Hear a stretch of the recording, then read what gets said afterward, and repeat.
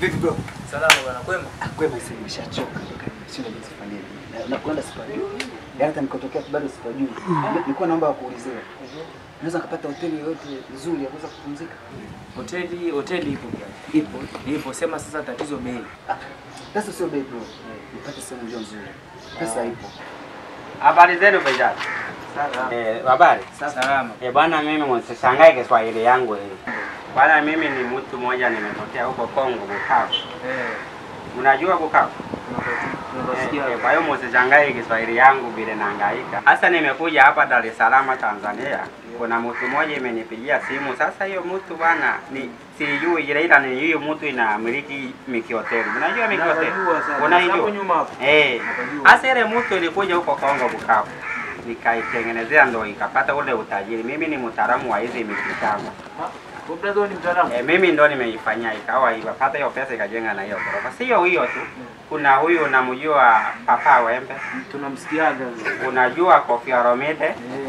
Hiyo mitu yote nimetengenezea utajiri mimi, yuko huko tu nakula tu maisha yake. Kwa sasa brother unaweza kunisaidia na mimi kidogo nikawa tajiri. Ya, Naomba usimame, nachukua tu dakika tatu.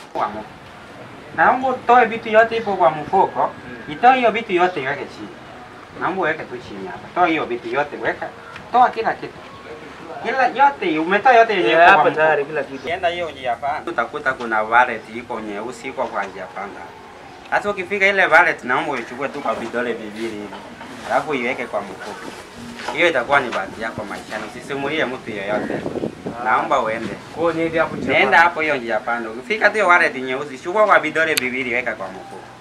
Alafu usisimulie mtu yeyote. Haina shida. Hiyo ndo bahati yako na maisha yako itaanzia hapo. Sawa sawa. Haya.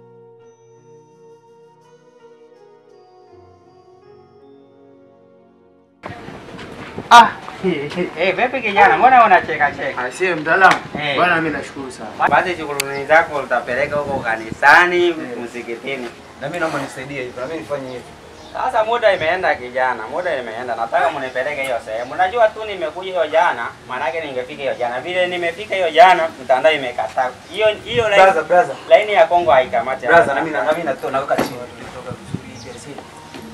See. Yeah, Bukavu. Sema unasikia sehemu inaitwa Bukavu, sio mbali. Basi sasa mbali huko. Tunapasikiaga, tunasikia kwenye TV hatupajui wengine.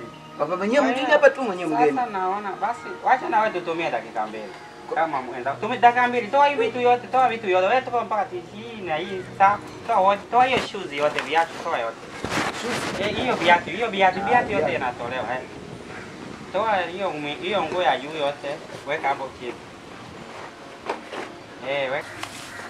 Eh, weka hapa chini. Tayari. Sasa wewe Eh. kama na wewe utaenda hiyo njia njia panda yenye ameenda huyo kijana, enda tu na wewe utakuta wewe sasa, hiyo wallet haitakuwa tena nyeusi, itakuwa nyekundu. Nakupa dakika mbili, two minutes kijana. Basi wewe nenda sasa hivi. Huku. Eh, ni hiyo njia panda ya karibu ile. Ah. Eh. Mwanangu kuingiza Kongo ni shida. Hivi hivi hivi bora kama sijui ni nani. Mwanangu, eh, hapa tumeshapata ina pesa mwanangu. Beba vitu vyote.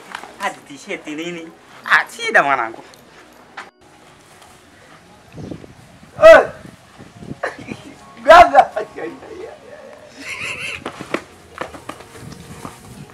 Mama, nimeshaibiwa. Nimeshaibiwa.